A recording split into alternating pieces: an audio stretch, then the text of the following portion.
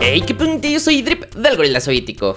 Nos encontramos nuevamente en un crossover épico de los miembros del gorila soviético. Espero les guste, hermanos. ¡Qué genial! ¡Qué genial! Antes de iniciar el video, quiero recordarles que pueden suscribirse si aún no están suscritos, al igual que utilizar el código gorila soviético en la tienda de Fortnite para apoyarnos, como el código pato en la tienda de Scope Gaming si quieren un control profesional con los mejores diseños. Ya que les recordé esto, también les hago mención de que todos los días me encuentro en stream a partir de las 8 de la noche, hora México, avisándoles que el día de hoy vamos a jugar una Song Wars con más youtubers, así que si quieren pasarse, por ahí nos vemos hermanitos. También tengo canal personal de YouTube por si quieren suscribirse y apoyarme de manera individual.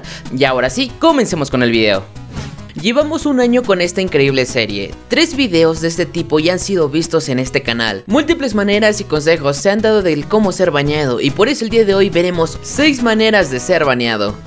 Como primer puesto nos encontramos el utilizar el nombre de una marca registrada o en burla hacia otra persona. ¡No puede ser!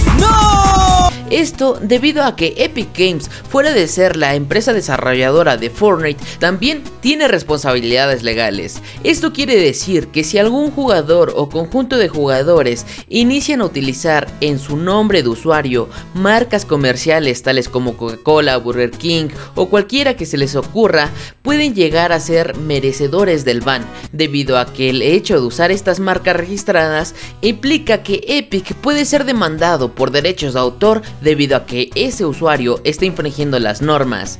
Por esta razón, la represalia hacia este usuario es el baneo, siempre dependiendo de la infracción que se haya cometido, debido a que si el jugador es un usuario reconocido, va a ser merecedor de esta sanción, debido a que está incitando, aunque sea indirectamente, a más usuarios a cometer el mismo acto. Es el mismo caso para aquellos jugadores que utilizan un nombre en forma de burla de otro usuario, es decir, que si FacePepinito24 existiera realmente y otro usuario utilizara un nombre despectivo que hiciera alegoría a esta persona, pues puede ser merecedor al ban. Estas acciones son similares al acoso, cuestión en la que Epic Games está más que sumergido debido a que es una empresa bastante seria que busca que su comunidad sea lo más sana posible. Esa cosa ni sentimientos tiene. Refiriéndose a todo aquello en lo que ellos puedan intervenir, ya sea nombre de usuario o el comportamiento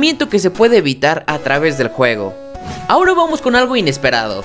Las góticas culonas están prohibidas en Fortnite. No mames. No de manera literal, obviamente si tú mi amigo pajero eres alguien que disfruta de verlas todos los días, puedes hacerlo. Lo que está prohibido es el hacer mal uso de las skins y todos los personajes que conllevan a Fortnite. Esto quiere decir por obviedad que está prohibido sexualizar a todas aquellas skins que se encuentren dentro del juego. O sea, no mames, espérate. Esto se encuentra estipulado estrictamente en las directrices de Fortnite, debido a que el uso indebido de los personajes da una mala apariencia hacia el juego, y por obviedad, si es que Fortnite siempre ha pretendido tener una buena imagen, tener una buena relación con compañías y también mantener alegre a sus usuarios como también a creadores de contenido por igual, ¡No mames! Ese cabrón si se pasa de lanza. Es obvio que el hacer mal uso de todo el material relacionado a la compañía, por obviedad, está penado.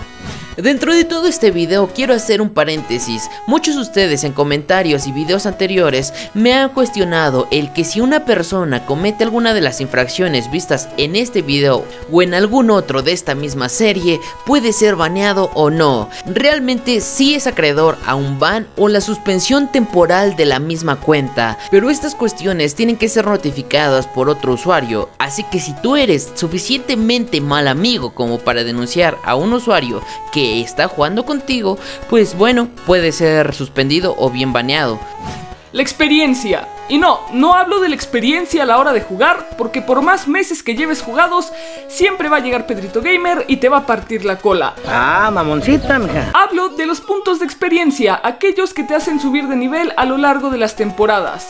Epic Games se ha dedicado a que los jugadores tengan algo que hacer después de haber llevado su Barley Pass al máximo, haciendo que estos lleguen a ciertos niveles para desbloquear unos estilos mamastróficos y exclusivos de la temporada que se esté jugando actualmente. El problema es que en ocasiones son muy complicados de alcanzar y la gente hace hasta lo imposible para lograr conseguirlos y aquí es donde viene el problema ya que hay gente que se tira todo el perro día grindeando al punto de que sus señores padres ya quieren correrlos de la casa y en otros casos, en los casos más oscuros y perturbadores del videogame,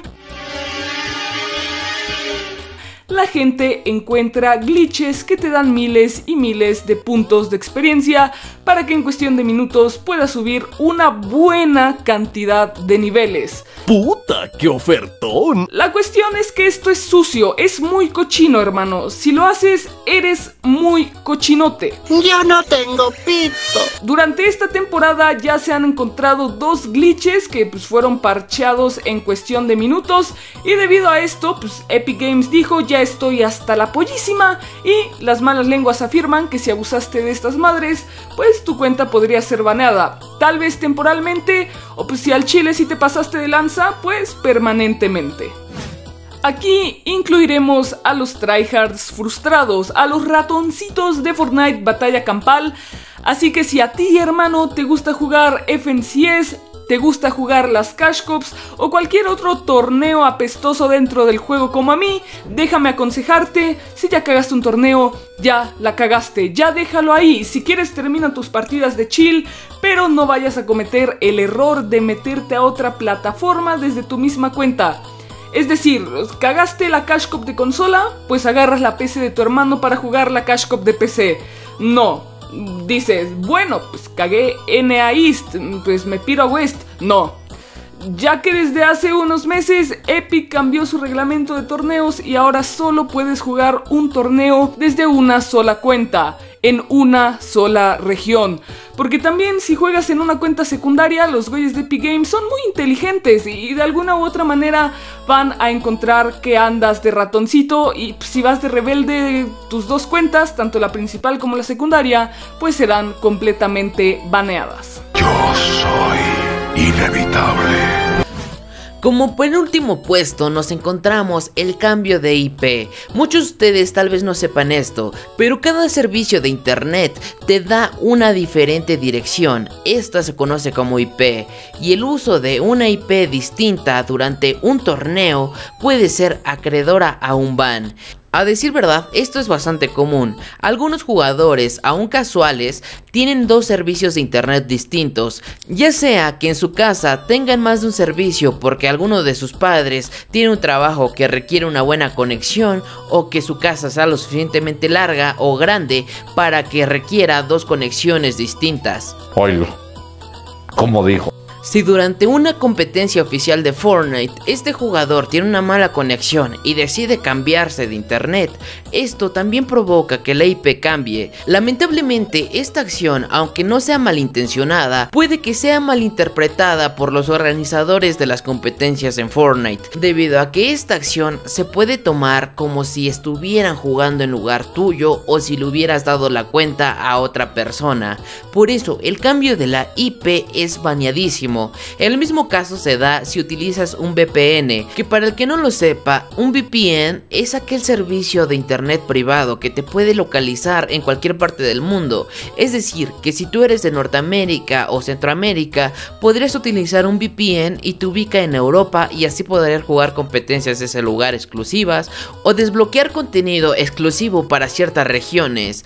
Esto hasta cierto punto no es tan atractivo para las personas que juegan casual Fortnite debido a que solamente cambian de costa o de región y ya se encuentran jugando con personas de diferentes partes del mundo. Pero me refiero a aquellos jugadores que utilizan los VPNs para comprar pavos, para jugar competencias que no son aptas para su región o cuestiones exclusivas de las mismas. Reitero nuevamente que muchos de los puestos vistos en este video son casi exclusivos para creadores de contenido y jugadores profesionales de Fortnite debido a que implica que un sequito de personas que te admiran van a seguir tus pasos y recordemos que por esta cuestión fue baneado Face Jarvis en su momento. Hace ya un rato se filtró el pase anual de Fortnite que te otorgaba una skin exclusiva, pues que obviamente no sigue sin salir, pues porque pues Epic Games, ¿no? Y el Battle Pass de cada temporada durante un año, todo a un precio de 7800 V-Bucks. Ah, caray. Eso sí me interesa, ¿eh? La gente se metió a la base de datos, al API, al API y moviendo unos cuantos códigos pues lograron obtener este pase en su cuenta. Obtuvieron la skin y su pase de batalla. Pero ¿qué pasó? GG's Chat se quedaron 50 de manera permanente. Así que hermano, si algo no ha salido oficialmente es porque Epic Games no lo quiere así y se debe respetar, ser pacientes y eventualmente saldrá. O bueno, tal vez nunca salga, ¿no? Pero pues ya ni modo. Güey, aunque fuera tu waifu favorita dentro del juego y ves que no sale, hermano, la tendrás que dejar ir con todo el dolor de tu corazón. Y bueno bandita, espero les haya gustado este video, en verdad que es un placer siempre traerles una nueva entrega de esta serie. Recuerden suscribirse si aún no están suscritos, al igual que seguirnos en nuestras redes sociales. En verdad espero les haya gustado, si les gustó, compartan con sus amigos, no sean envidiosos y nos veremos en un próximo video. Yo soy Drip del Gorila Soviético y no me despido sin antes recordarle que el día de hoy voy a jugar con más youtubers en stream. Recuerden, soy Drip en Twitch a las 8 de la noche mis panitas. Nos vemos en un próximo video. Bye bye.